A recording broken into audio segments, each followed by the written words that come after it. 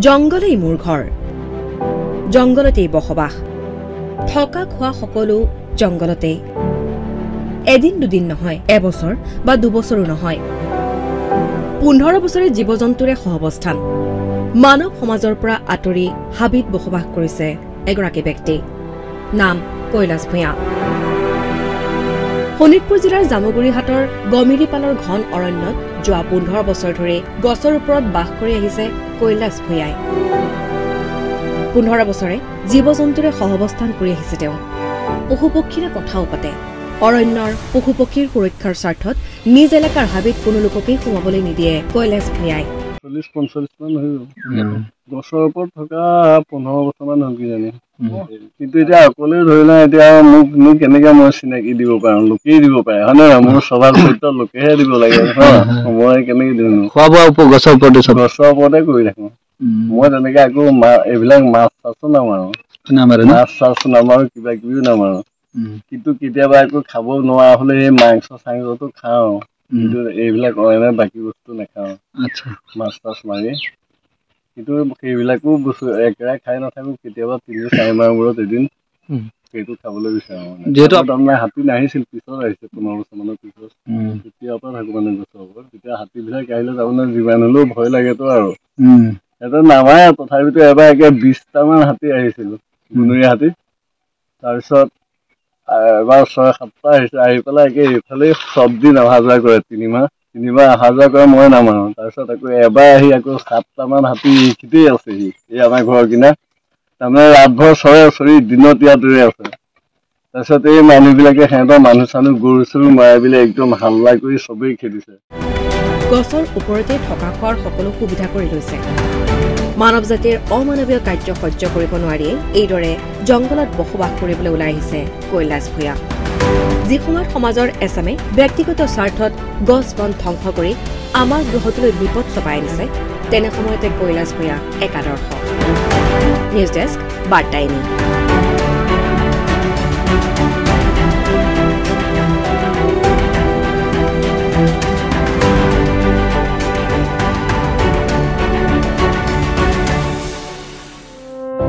জংঘলেই মোৰ ঘৰ। জংঘলতেই বসবাস। থকা খোৱা সকলো জংঘলতেই এদিন দুদিন নহয় এবছৰ বা দুবছৰো নহয়। পোন্ধৰ বছৰে জীৱ জন্তুৰে সহাৱস্থান মানৱ সমাজৰ পৰা আঁতৰি হাবিত বসবাস কৰিছে এগৰাকী ব্যক্তি। নাম কৈলাশ ভূঞা। শোণিতপুৰ জিলাৰ জামুগুৰিহাটৰ গমিৰিপালৰ ঘন অৰণ্যত যোৱা পোন্ধৰ বছৰ ধৰি গছৰ ওপৰত বাস কৰি আহিছে কৈলাশ ভূঞাই। পোন্ধৰ বছৰে জীৱ জন্তুৰে সহাৱস্থান কৰি আহিছে তেওঁ। পশু পক্ষীৰে কথাও পাতে। অৰণ্যৰ পশু পক্ষীৰ সুৰক্ষাৰ স্বাৰ্থত নিজ এলেকাৰ হাবিত কোনো লোককেই সোমাবলৈ নিদিয়ে কৈলাশ ভূঞাই। চল্লিছ পঞ্চল্লিছ মান হৈ গ'ল গছৰ ওপৰত থকা পোন্ধৰ বছৰমান হ'ল কিজানি। কিন্তু এতিয়া অকলে ধৰি লওঁ এতিয়া মোক মোক কেনেকে মই চিনাকি দিব পাৰোঁ লোকেই দিব পাৰে হয় নহয়? মোৰ স্বভাৱ চৰিত্ৰ লোকেহে দিব লাগে মই কেনেকে দিওঁ খোৱা বোৱা ওপৰত গছৰ ওপৰতে গছৰ ওপৰতে কৰি থাকোঁ। মই তেনেকে আকৌ মা এইবিলাক মাছ চাছো নামাৰো। ন? মাছ চাছ নামাৰো কিবা কিবিও নামাৰো কিন্তু কেতিয়াবা আকৌ খাব নোৱাৰা হলে এই মাংস চাংসটো খাওঁ।